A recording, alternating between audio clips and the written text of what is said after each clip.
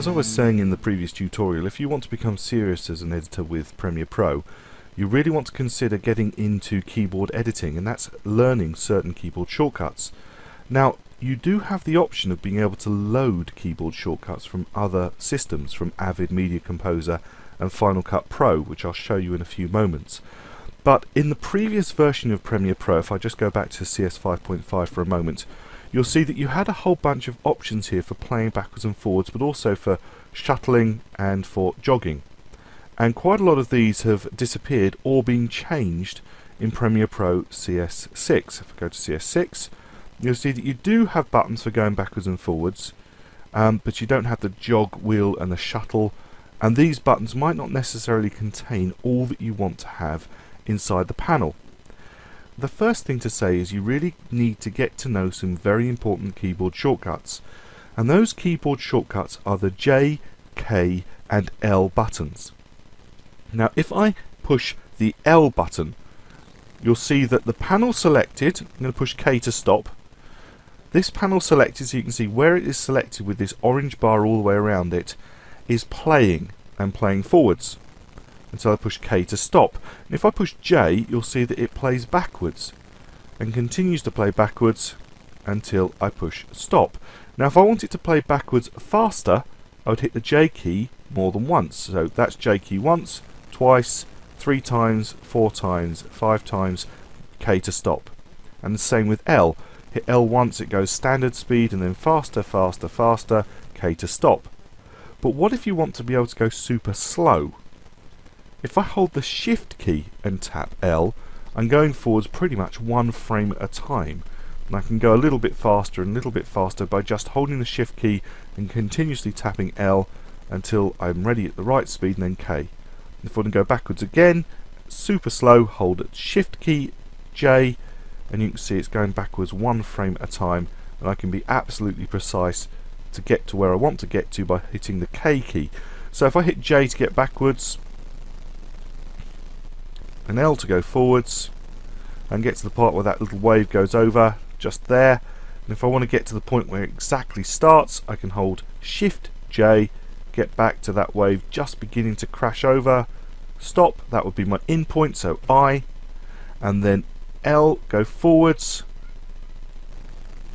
until the wave goes over. And then to get to precisely the place I want to finish I might do shift L and say it finishes or it looks good up to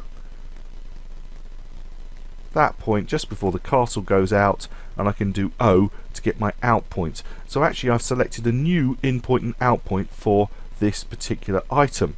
Now I used to be able to have a key that would allow me to play in to out and I certainly have keys that allow me to go to the in point and go to the out point.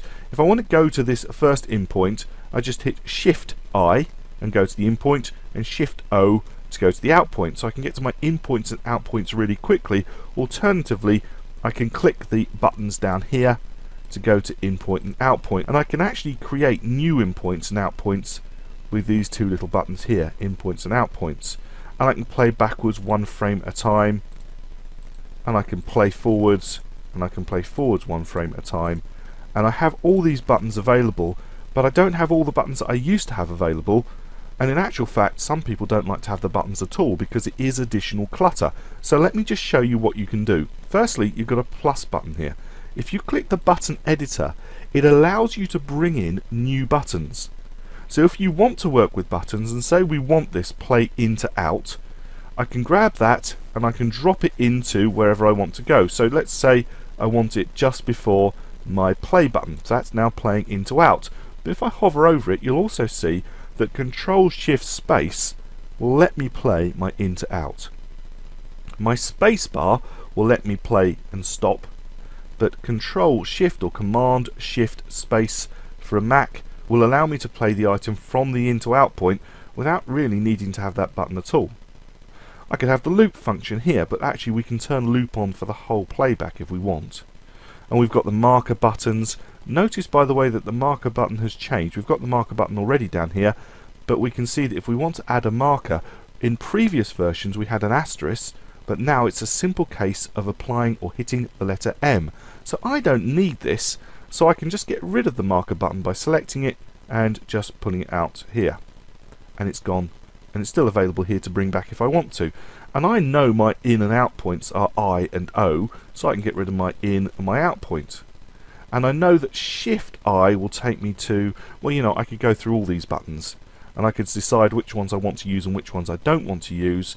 Some of them may be useful to me some of them may be not but if we want to we can get rid of these altogether and I'll show you how to do that in a minute.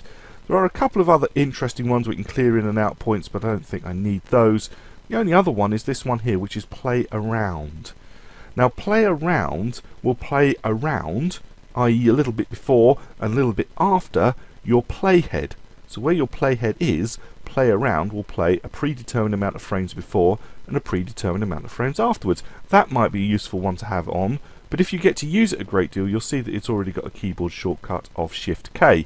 We can stick it in there if we want to for now. And I'm going to click OK. And they're my buttons, the ones that I may or may not want to use. But if you go to the panel menu up here, you'll see that you've got the option to show transport controls. At the moment it's ticked. If I click that, you'll see that all of those buttons disappear. And actually this is where you want to be aiming to get to.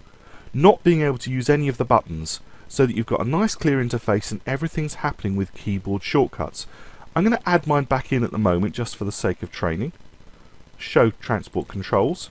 Click the button here and you can see that you can reset the layout and it takes you back to how it was originally. And the only one that I'm going to bring in at the moment is I'm going to bring in the play around just to demonstrate how that works a bit later on. So I'm going to click OK and when I get serious about my editing and I know the keyboard shortcuts I want to use I can actually turn these buttons off completely by going back up to the panel menu and doing show transport controls and getting rid of those. The only other thing to show you is the redesigned zoom function. On previous versions, if I go back to CS 5.5, you'll see you zoom in here.